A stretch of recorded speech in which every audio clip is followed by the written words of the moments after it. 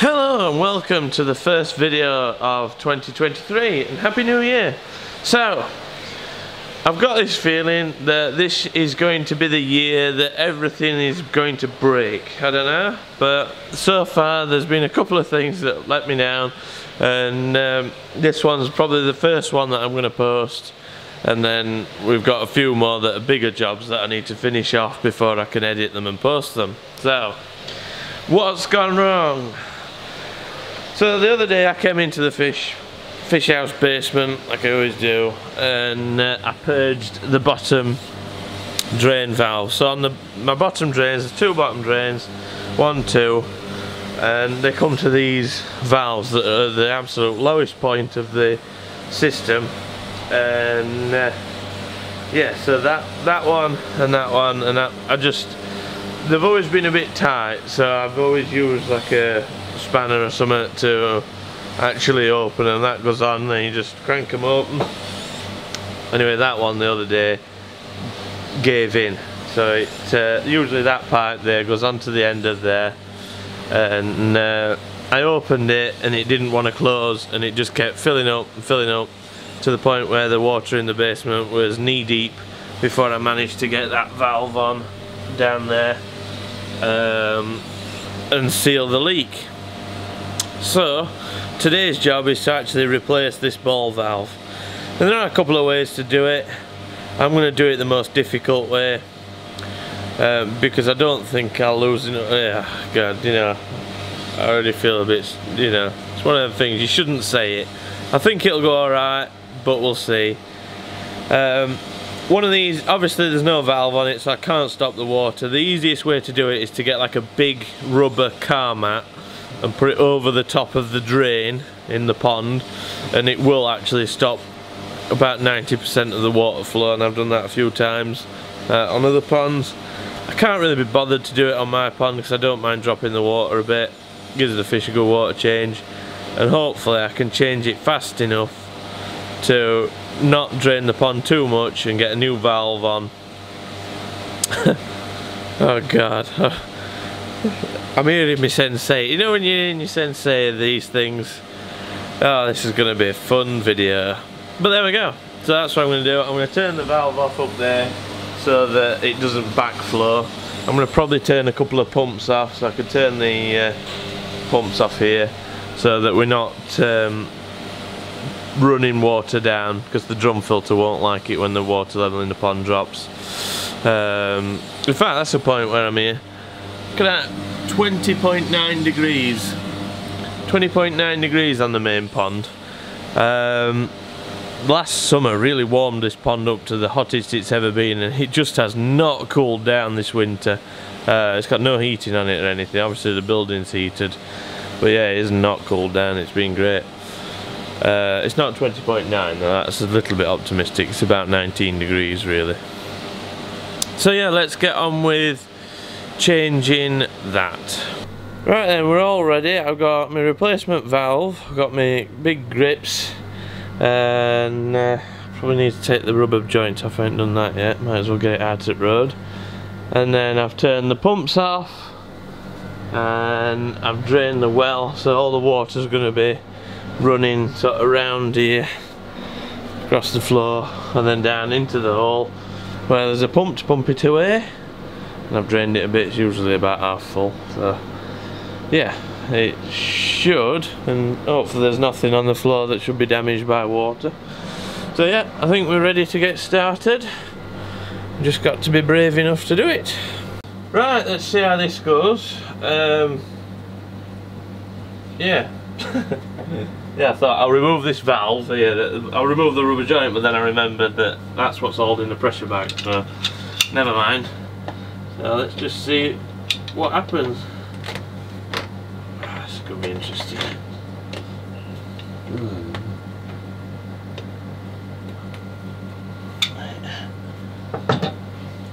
That's open, that's ready to go on, close. Put that there.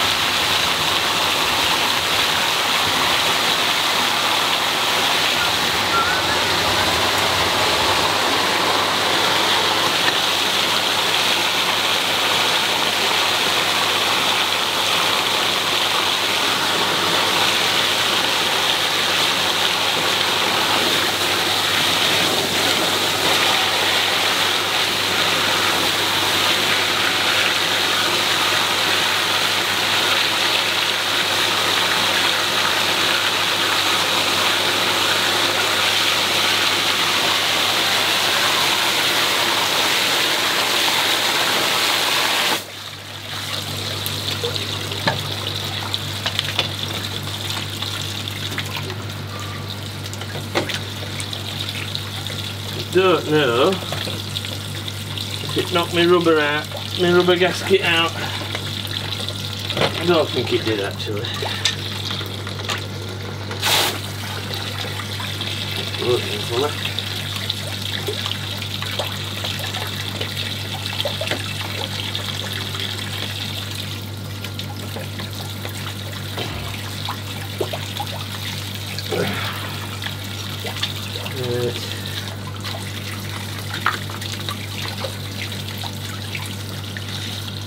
it.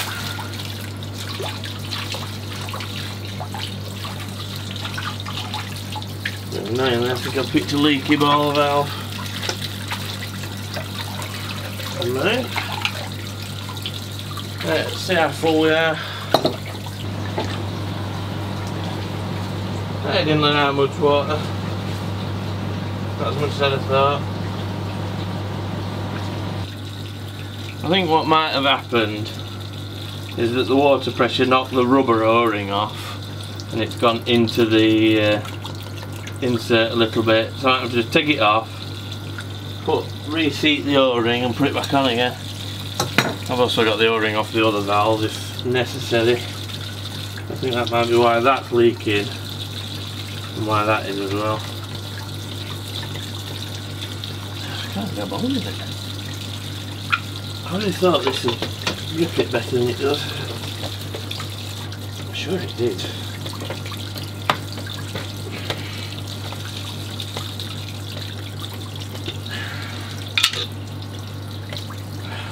old.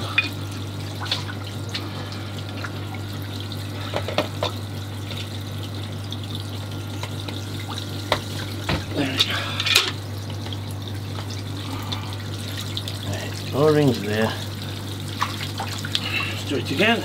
Right, let's move this out of the way this time.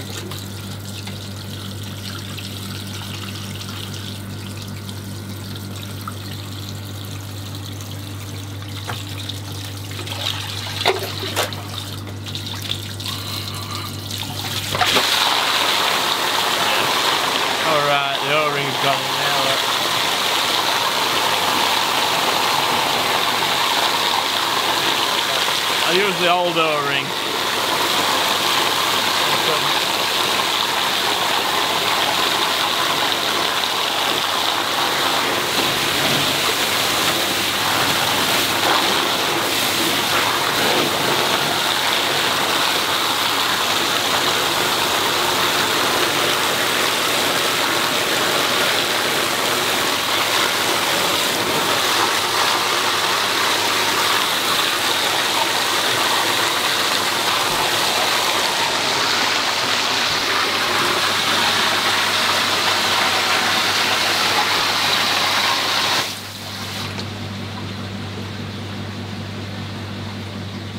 Where's that from? So I just found another O-ring. Um, yeah, bugger. It would be leaking worse than that though if it didn't have its O-ring on. So I'm optimistic.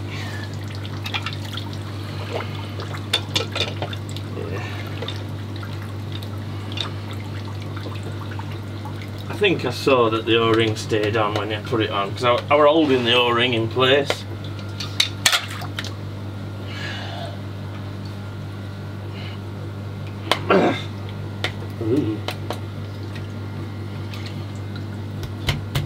There we go. That's where I want it. It doesn't leak so if it doesn't have an o-ring on yeah it must have the o-ring on. They do leak like crazy if you don't put the o-ring on so. Well thank god that's over with. I probably should have put the so like I said if you get a big rubber mat you can just put it on the bottom drain and it it doesn't entirely stop the water flow but it stops a lot more than you'd think.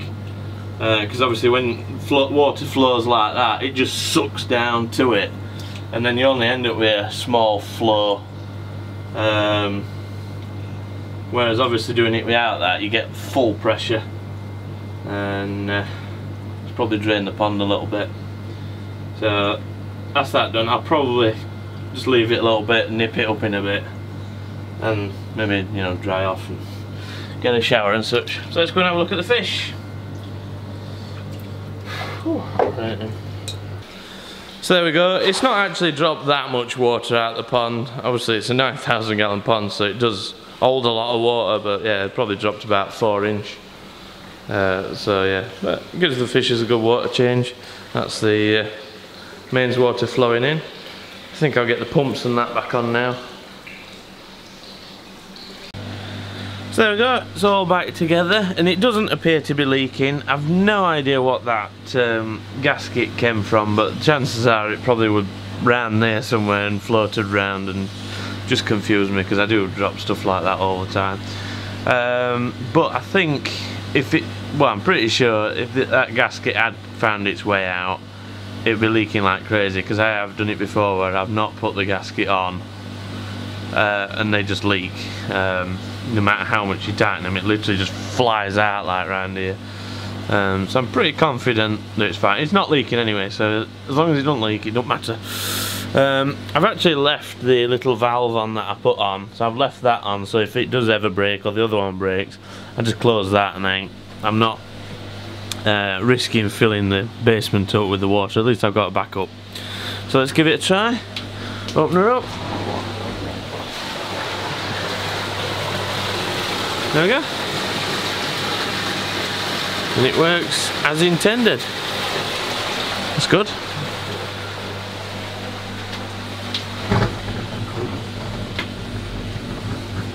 Yeah, and, um, and I can use the blue valve on this one as well because the other one was a bit too tight to use the blue valve. It kept cracking them, that's why I used the spanner instead. Uh, which is probably why it's broke as well. I haven't actually there's nothing really to look at on it but it's broke in that position. That just turns and the, the valve doesn't turn so obviously the plastic joint in there is broke somewhere. So there we go.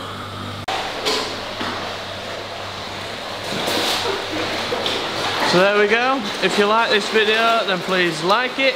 If you want to see more videos like this and fishing related videos then please feel free to subscribe any questions or comments, then please put them down below, and I shall see you in the next video. Thank you for watching.